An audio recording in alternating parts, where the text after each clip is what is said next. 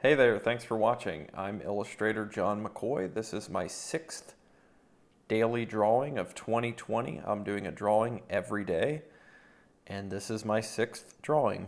It's on 8.5 by 11 inch paper, just ordinary paper, um, and it took one hour and 50 minutes to do this drawing from live observation. I went to uh, the riverfront from the Covington side of Cincinnati and began um, sketching out the composition. Uh, this location is right on the riverfront, as I said, and it's right near George Rogers Clark Park, which is in Covington, close to Newport, uh, but it's on the it's in it's on the Covington side.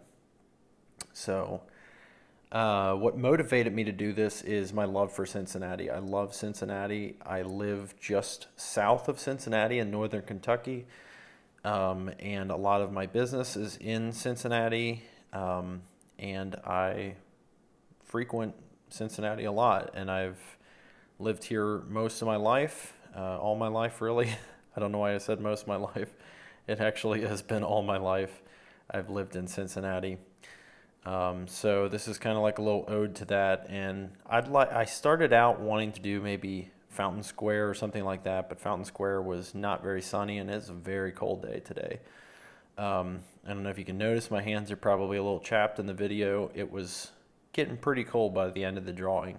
By the end of the drawing, I was thinking, yeah, yeah, it's, this is cold. Um, while I was drawing, I had a lot of little visitors. Um, not only people, but I, I'm referring to the Canadian geese. There was bunches of them, and they weren't afraid to get. There went one right on the screen just there. I, they weren't afraid to get really close to me as I drew. Um, and then, yeah, one even I don't know what it was, but something something dropped something real close to my to my pencils, um, and that was kind of scary. There went another one on the screen there. You can see. So drawing this from live observation was a lot of fun. It was a nice, bright, sunny day. Where I was sitting is in shadow, which was nice for the camera lighting. Um, I started out with a layout and then a compositional layout with a light, kind of blocked that in really light with a pencil.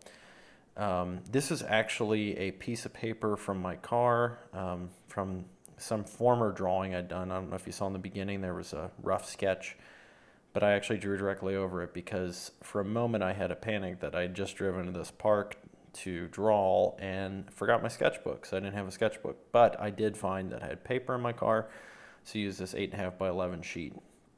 Normally I prefer to use something maybe a little more archival or something like that. Um, but yeah, the again, I'm using the Prismacolors and it's a lot of fun doing them.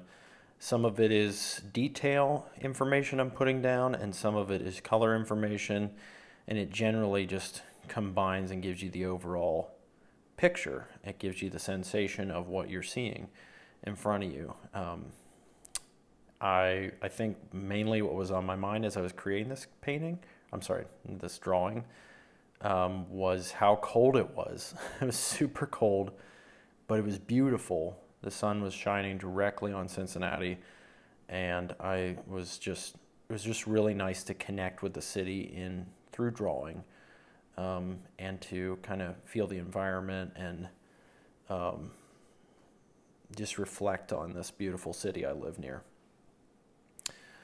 Uh, one thing I would say I really like about these Prismacolors is I'm learning a lot about color as I'm drawing, I'm learning about how when colors are in shadow, they're generally more desaturated and cooler.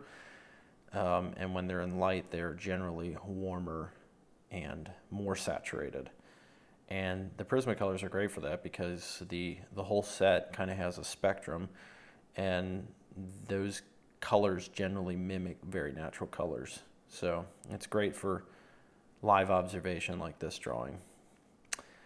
So, um, I just want to say thanks for watching. Um, and if you didn't know, this is filmed with GoPro on this little easel I built at the beginning of 2020.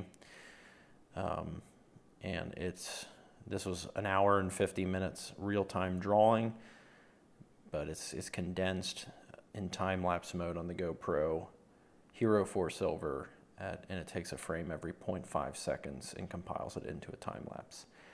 This one, this drawing, I didn't want to go too detailed. I just wanted to focus on the overall appearance of beautiful Cincinnati. So thanks so much for watching and be sure to subscribe to the channel.